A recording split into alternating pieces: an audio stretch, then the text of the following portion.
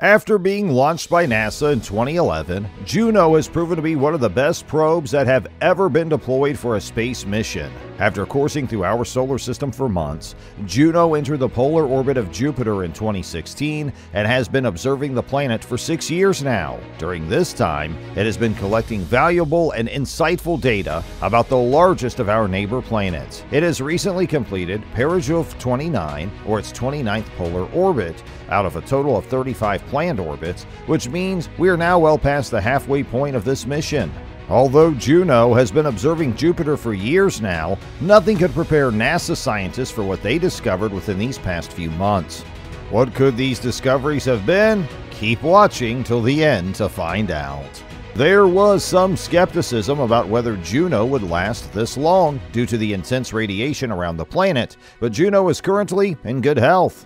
Its polar orbit takes it very close to the planet, only 4,000 kilometers above its atmosphere, meaning it avoids most, but not all of Jupiter's plasma torus, the region of extremely energized particles, particles which have been trapped in place by Jupiter's powerful magnetic field. But thankfully, Juno quickly discovered that the radiation where it orbits was a lot weaker than initially expected. This means that even the camera is still operational, which was one of the first instruments expected to go. Juno completely surprised scientists by also discovering another, small and less powerful radiation belt right above the equator, which hugs the planet tightly. So far, the mechanisms behind this radiation belt are unknown. However, although the radiation exposure hasn't been as bad as scientists expected, due to the nature of Juno's orbit, every passing perijove takes it more and more into the main radiation belt, meaning Juno certainly can't last forever and Perijove 35 is currently when mission controllers believe the mission will be forced to end, whereupon they will crash Juno into Jupiter to avoid any future collisions with Europa. The charged particles in the plasma torus come particularly from the volcanic activity of Jupiter's closest moon, Io, which blast particles into orbit around Jupiter. Io ejects one ton of particles into orbit around Jupiter per second, as Io travels through the plasma torus and interacts with Jupiter's magnetosphere, this causes a flux tube to exist between the planet and the Moon.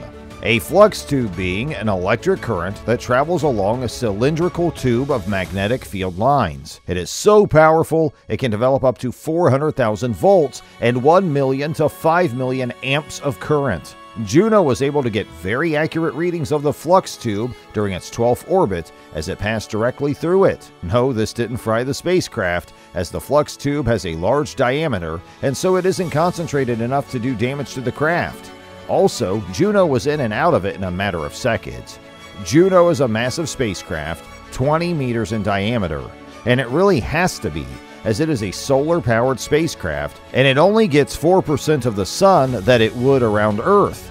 This means, even though these panels are huge, it can only generate just above 400 watts.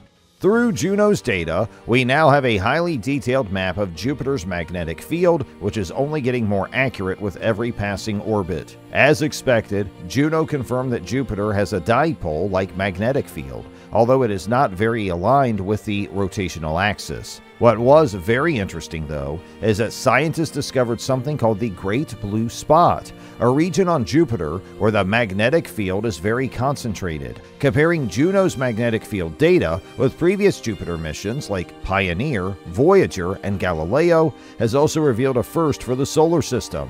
Jupiter's magnetic field structure has been found to change very gradually over time, which is called secular variation. This was most apparent around Jupiter's Great Blue Spot, and it's thought to be driven by a region right at the base of Jupiter's atmosphere, which we'll get to in a bit. A combination of the powerful magnetic field and the charged particles in the plasma torus means that Jupiter has the brightest aurora in the solar system, with a radiant power of 100 terawatts. Like Earth, aurora appear as bands around the north and south poles, but unlike Earth, these aurorae are mainly visible in the ultraviolet and are mainly produced from alternating currents, not direct currents. When Juno measured the power generated from the direct currents in Jupiter's magnetosphere, it was nowhere near enough to account for the brightness of the aurora, leading scientists to speculate that the remainder of the power is coming from alternating currents. At this time, it is believed that these alternating currents are produced because of the turbulence in the magnetic field, especially at the North Pole, The magnetic field lines are much more complex, which interferes with the direct flow of currents. This is evident when comparing the North and South Pole aurorae. At the north, the aurora is much more dispersed, looking more like filaments and flares, whereas at the South Pole, where the magnetic field lines are smoother, the aurora seems to be more structured and round.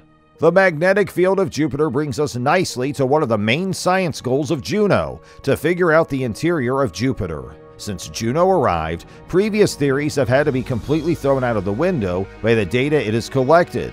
Previously, it was thought that there was a solid core, then a sharp cutoff line between the core and the next layer, the metallic hydrogen layer.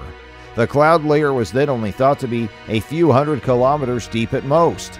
But based on the Juno data, the atmosphere of Jupiter extends to 3,000 kilometers down, and beneath this is an ocean of metallic hydrogen going all the way down to the center. And even if there is a core, it is very fuzzy, potentially mixing up with the metallic hydrogen layer.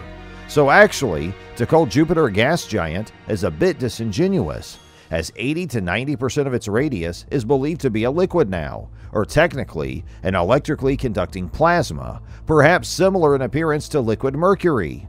Here, the pressure is so great that the hydrogen doesn't retain its molecular structure with two combined protons and electrons, and instead they separate meaning positive and electric charges can move about, becoming an electrically conducting substance. We say believe, as we haven't been able to recreate metallic hydrogen in lab conditions yet. The pressure needed is millions of times greater than the atmospheric pressure of Earth. Although we assume this must be the case due to Jupiter's powerful magnetic field. To create a magnetic field of this strength, the dynamo must originate in an electrically conducting substance. It can't be a denser metal like iron in Earth's core because Jupiter doesn't have the density for that. In fact, based on its density, we know it must be made primarily of hydrogen and smaller amounts of helium, very similar in composition to the Sun. Another factor for the strength of this magnetic field is due to the rapid rotation of Jupiter. One day on Jupiter only lasts about 10 hours.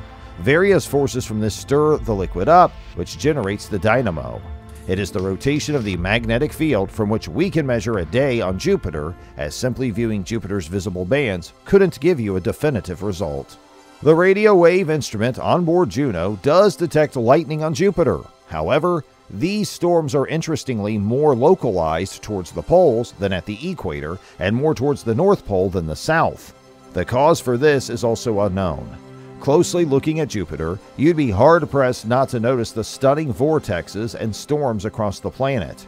Juno has had the opportunity to orbit directly over the Great Red Spot, where it discovered something very interesting.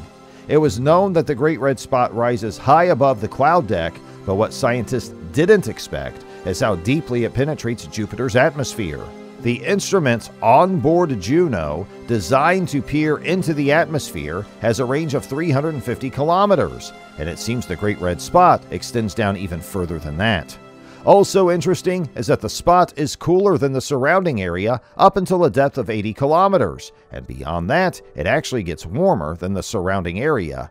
This heat perhaps driving the storm. It has been theorized that the Great Red Spot is a permanent feature on Jupiter, but we've only had about 400 years to observe it so far, a mere blink in astronomical timescales. Looking over the poles, other possibly permanent features have been observed. In contrast to Saturn, which has a hexagon on one pole and a single vortex on the other, Jupiter has five vortexes around the south pole and eight around the north.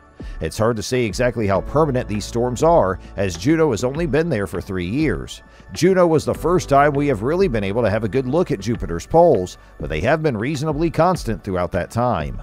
Under the ammonia cloud layer is thought to be a water ice cloud layer, although this has not yet been confirmed as this layer hasn't actually been seen yet. This is one of the science goals of Juno, though, and it has several microwave detectors to try and find this elusive substance. Jupiter generates heat from within and also emits microwaves, which hypothesized water clouds would absorb. So, in theory, Juno should be able to detect where the water is present in Jupiter's atmosphere by searching for where Jupiter's microwaves aren't visible. All that being said, Juno still has a while to go with this mission, and no doubt the data it collects will be examined for years to come. Our understanding of Jupiter is gradually increasing, and with this knowledge comes better understanding of how our solar system formed, and also that of other solar systems with Jupiter sized worlds. One thing is for sure this won't be the last time that Jupiter blows our minds.